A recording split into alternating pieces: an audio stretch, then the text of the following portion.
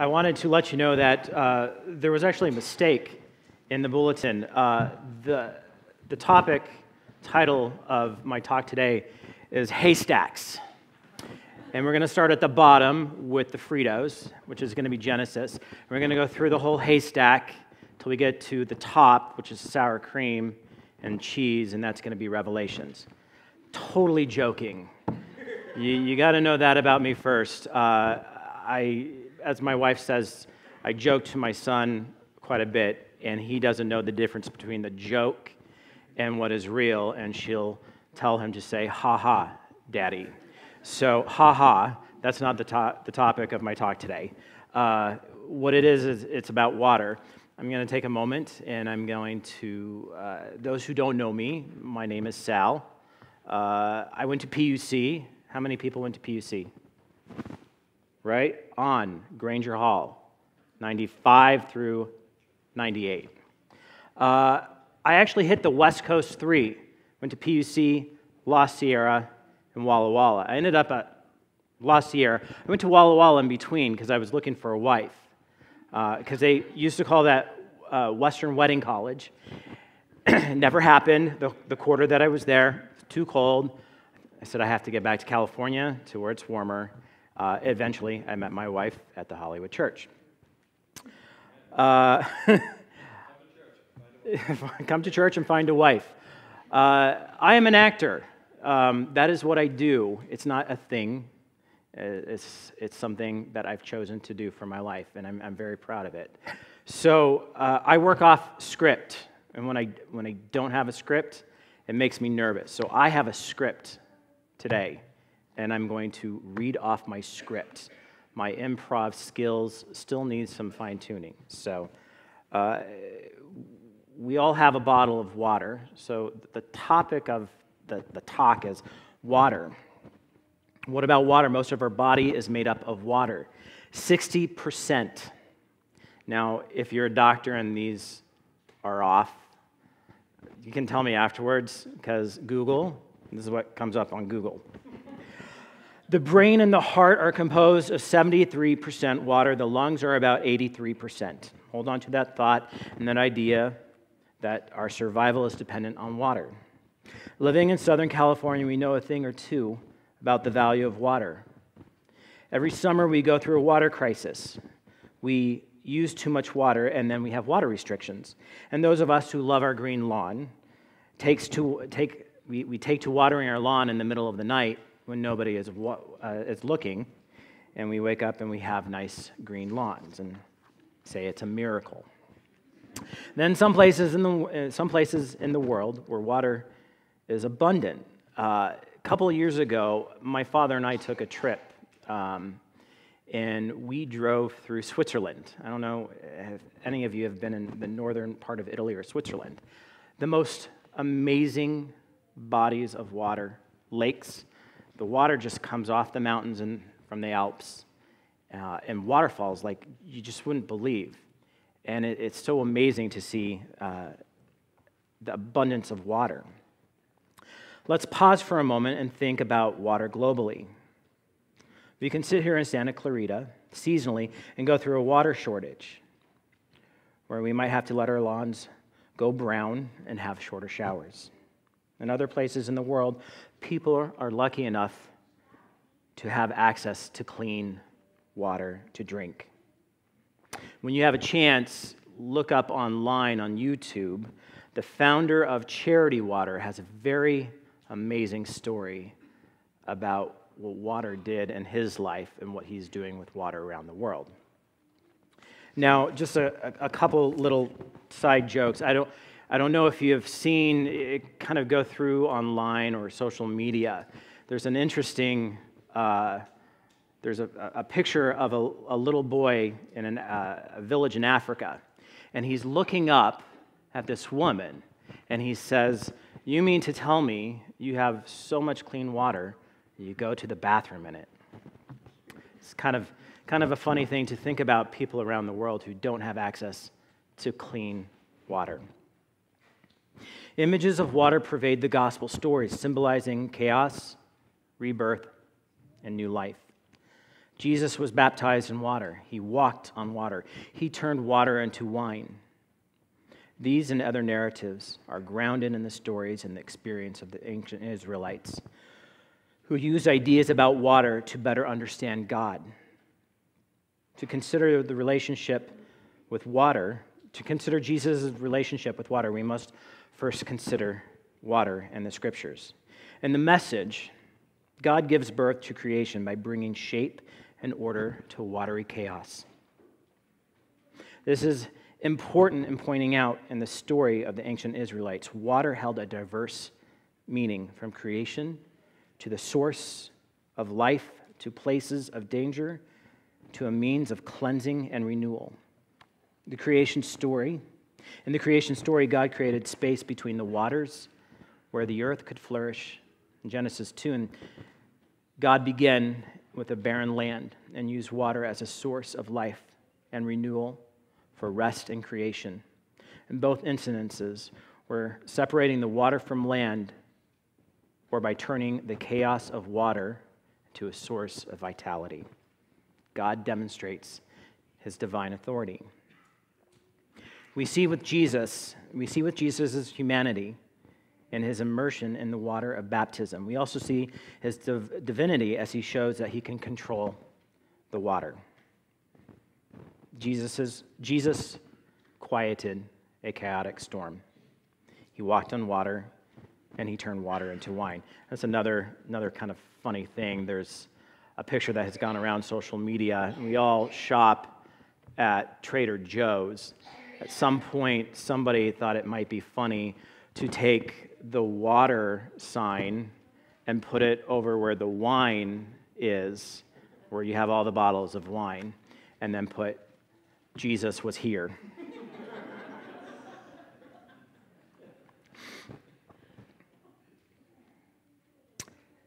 Jesus said, If you are thirsty, come to me and drink. Have faith in me, and you will have living water flowing deep from inside you. I want to take a moment and take a snippet of the verse for today and focus on that. And there are a lot of object lessons that can be taken from this one story this idea of water. Without getting into deep theological discussions, they make me nervous. Let's look at this for a moment with Jesus. This encounter that the woman has with Jesus. We know of the cultural prejudice prejudices between the Samaritans and the Jews. We know that this woman was a social outcast, having had five husbands, and the time of the day that she goes to the well as not to cross people on the path. Yet Jesus is there. Can you imagine that? Knowing that you are that person publicly with all the weight on your back of the burdens of your mistake and shame and sin. Jesus makes the first move, and he asks her for a drink of water. A woman. And this is from the Message Bible, by the way, and I just want to say, uh, going through these verses today, I kind of looked at a couple different versions, but I really liked the, the way that the message gave this. A woman, a Samaritan woman, came to draw water. Jesus said, would you give me a drink of water? Talk about breaking the ice. Verse 9 and 10. The Samaritan woman, taken back, asked, How come you, a Jew, are asking me, a Samaritan woman, for a drink? Jews in those days would not be caught talking dead to Samaritans. And Jesus answers, If you knew the generosity of God, and who I am. If you knew the generosity of God and who I am. Key line you would be asking me for a drink, and I would give you fresh, living water. Jesus was offering this woman water for her thirsty soul, despite all the other social and cultural reasons that he should not be conversing with her. He gives it, he offers it to her. Not only that, he says, anyone who drinks this water from the well will get thirsty. but anyone who drinks the water that I will give them will never thirst again. And the message says it this way The water I give will be an artisan water, an artisan spring from within, gushing with fountains of endless life. Wow. Don't you love that word, artisan, water? We go to the store and we're bombarded with all these different brands of water and kind of water on, on the shelf. And you kind of, sometimes you'll go for the expensive one and will say artisan because you think that might be the best water you're getting. I love how the Message Bible uses those words gushing fountains of endless life. I want that water, do you? Why would we think of depriving our bodies of water when they thirst? Why then would we deprive our souls of life and the water of Christ? Why don't we come to the well and ask for the water?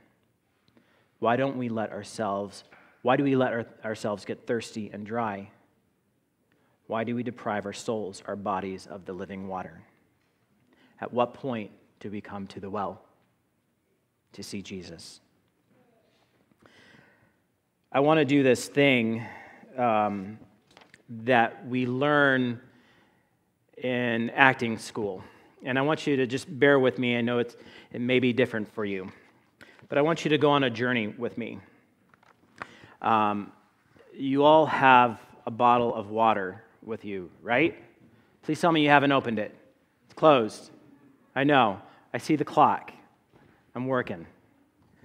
But I, I want you to take for a moment and, and go on a journey with me. And we do this thing in, in acting school called sensory exercise. And it's to help heighten your, your, your senses, that when you're working on a script, you can recall things a little bit better. So I want you to close your eyes with me. Everybody, close your eyes. You've got to participate. And we're going to go on a journey. We're going to go for a walk, on a hike, Sabbath afternoon. We're not going to take much with us except a, a, small bottle of water. And, and it's a hot day. But you started this journey and you said that you could do it. So you're going to do it. You're going to give yourself a couple of hours. You're going to enjoy the day. And you're going to go on the hike. And you, you somewhat know this trail. And you start off on the journey. It's really hot. And you you feel your fingers. Take out your fingers and kind of shake them, feel them, all the way, all the way to the tips of your nails and your feet. And you're ready to go. And, and you start walking, and you're walking. You're thinking about your week. And then you've gone for about an hour and you feel that heat. So you reach for your water and you take a big gulp. It's not a small gulp, you know, but a, a really big gulp that fills you. And you feel nice and wet. You put your, your bottle away and you keep going forward. And you keep going and the sun is really hot. It's one of those Santa Clarita August afternoons that reaches 103, right? You know what that is, and you wish that you were by a pool or something, and you think, wow, this was a bad idea. Why did I decide to go for a hike on a hot day? And you're kind of tired, you've been going for a while. And now your hands and your feet hurt. You know, that lower part in your back that starts to hurt when you've been walking for a long time. But now you feel the dryness in your throat. It's very scratchy. And the only way that will fix that is by having another drink of water. So you go and you grab your water and you realize that you have one more sip left but it's one of those scratches in your throat that you can't breathe anymore. So I'll just fill up on the water now so I can breathe and continue with my hike. And you drink that last gulp of water. And you keep moving on.